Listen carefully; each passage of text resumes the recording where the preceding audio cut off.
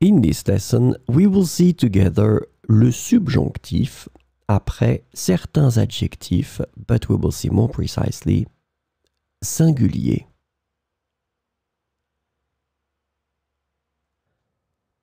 The important thing that we need to remember is that we will structure our sentence in such a way. We will start with il est. Remember that in that case, il will stand for it and not for he.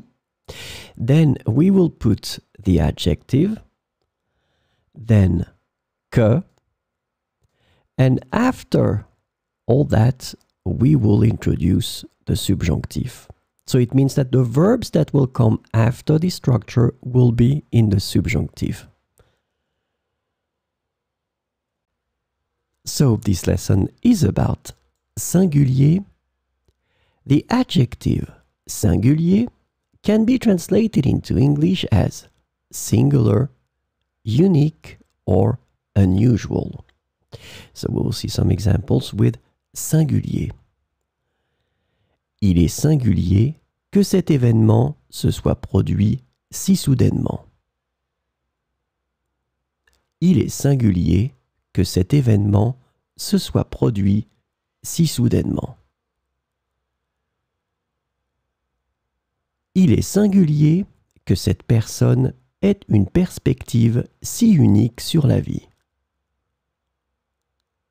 Il est singulier que cette personne est une perspective si unique sur la vie.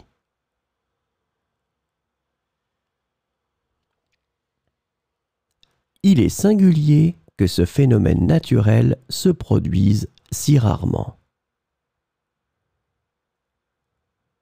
Il est singulier que ce phénomène naturel se produise si rarement.